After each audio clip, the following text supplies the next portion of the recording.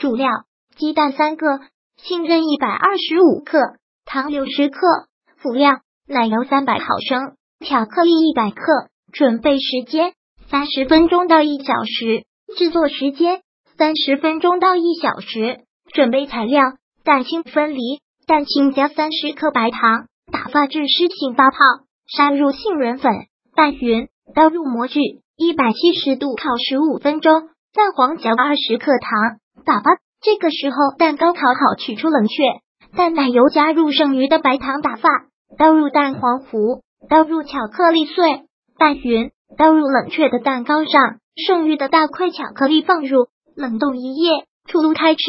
烹饪技巧：因为孩子吃没有放咖啡和酒，不过味道也很好吃。蛋糕不要烤得太久。